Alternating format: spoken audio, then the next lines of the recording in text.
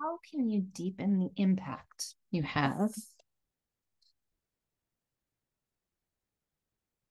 How can you deepen the impact you have with the people you help and get better results for your clients without more effort?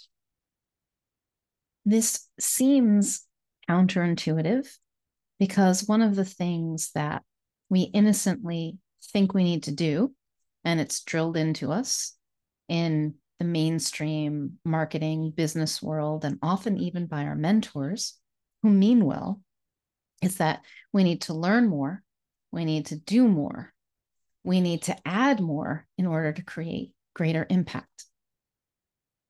But what happens when you're trying to help someone and you're so busy trying to cram in more information or do more things, remember the processes and techniques that you've been taught. What happens to the quality of your state of mind? Typically, it creates a lot of pressure, and our connection and awareness with the person we're there with, our ability to listen goes way down. It is far more helpful for you to simply be present and relaxed, to listen without a lot on your mind, allowing your thoughts to calm down, because that is when you perform at your best. That will allow you to have more clarity and greater impact with anyone, no matter who it is, and no matter what situation you're in.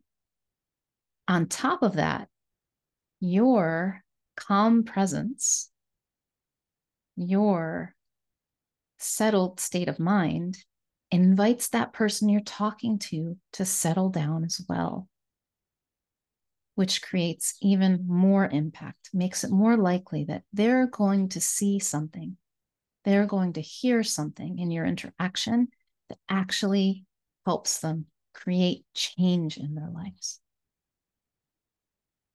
So it's actually less effortful and more easeful to create deeper impact through something that I call quiet impact.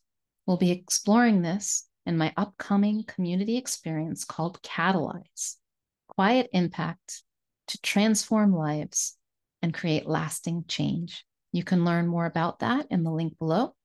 And if you have any questions, please ask.